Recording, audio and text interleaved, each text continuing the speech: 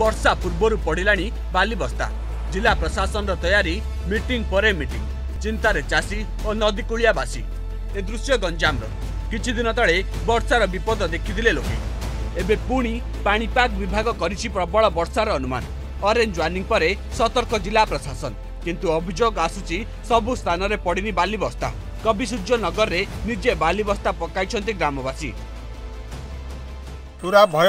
ରା- ପାଣି ହେଇଗଲେ ରାତି ଯାକ ଲୋକ ଶୋଉନାହାନ୍ତି। ହୁଡ଼ା ଗାଡ଼ି ଜଗୁଛନ୍ତି। ଆଜ୍ଞା ଆଜ୍ଞା। ବାଲି ଅଖା ହୁଡ଼ା ପୁରା ନମ୍ବା ରଖା ହଉଛି ଭାଟଟାଠୁ ବା- ଗାଁ ବାହାରି ପଞ୍ଚାୟତ ଆଜ୍ଞା। ରାତି ଦିନ ଶୋଇବେନି ଖାଲି ପାଣି ଥିଲା ପଞ୍ଚାୟତ ଲୋକ ଖିଆ ପିଆଲେ ଠିକ ନାହିଁ। କାହା ଘରେ ପାଣି ପଉଛି କାହା ଘରେ ରାତି ଦିନ କେହି ଶୋଇବାକୁ ନାହିଁ ନଦୀ ପାଣି ଭୟ ପବନକୁ ଭୟ ଗାଁ ନଈତଳ ଘର। ଆଉ ମୋର ଭୟରେ ଆଗା ରହୁଛୁ। ପବନ ହେବ କେମିତି ରହିବା କ'ଣ କରିବା କି ଆଉ ମୋର ସେଠି ଏକଣା ଘର ବନ୍ଧ ପାଖର। ପୂର୍ବ ବର୍ଷାରେ କ୍ଷତିଗ୍ରସ୍ତ ହୋଇଥିଲା ଗଞ୍ଜାମ ଗଜପତିର ନଈକୂଳିଆ ଚାଷ ଜମି ଓ ପାହାଡ଼ିଆ ଅଞ୍ଚଳ। ଭୟଭୀତ ପୁରୁଷୋତ୍ତମପୁର ଗଞ୍ଜାମ ଛତ୍ରପୁର ଆସିକା ଓ ପାତ୍ରପୁର ଅଞ୍ଚଳ। ସମସ୍ତ ବିଭାଗକୁ ଆଗୁଆ ସତର୍କ କରିଛନ୍ତି ଜିଲ୍ଲାପାଳ। ସମସ୍ତ ସରକାରୀ କର୍ମଚାରୀ ହେଡକ୍ୱାର୍ଟର୍ସରେ ରହିବା ବାଧ୍ୟତାମୂଳକ। ଖାଲୁଆ ଅଞ୍ଚଳରେ ଥିବା କଚ୍ଚା ଘର ପୁରୁଣା କୋଠା ମାଟି ଘରର ଲୋକଙ୍କୁ ସ୍ଥାନାନ୍ତର କରାଯିବ। ପାହାଡ଼ ଧସିବା ସମ୍ଭାବନା ଥିବା ଅଞ୍ଚଳରୁ ଲୋକଙ୍କୁ ସ୍ଥାନାନ୍ତର କରାଯିବ। ଗର୍ଭବତୀଙ୍କୁ ମେଡିକାଲରେ ରଖିବା ବ୍ୟବସ୍ଥା କରାଯିବ। ଶୁଖିଲା ରନ୍ଧା ଖାଦ୍ୟ ଓ ମେଡିସିନ ମହଜୁଦ ରଖିବାକୁ ନିର୍ଦ୍ଦେଶ ଦିଆଯାଇଛି।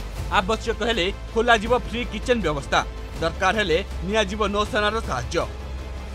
ଆମର ଆସନ୍ତା ଉଣେଇଶ ତାରିଖରୁ ବାଇଶ ତାରିଖ ଏକୋଇଶ ତାରିଖ ଯାଏଁ ଆମକୁ ତିନି ଦିନ ବର୍ଷାର ୱାର୍ଣ୍ଣିଂ ଆସିଛି। ଆଉ ତାକୁ ଦୃଷ୍ଟି ଆଗ- ଆଗରେ ରଖିକି ଆମର ପ୍ରିପାରେଟରୀ ମିଟିଂ ଆମେ ଡିଷ୍ଟ୍ରିକ୍ଟ ଲେଭେଲ୍ ଅଫିସରମାନଙ୍କୁ ନେଇକି କଲୁ।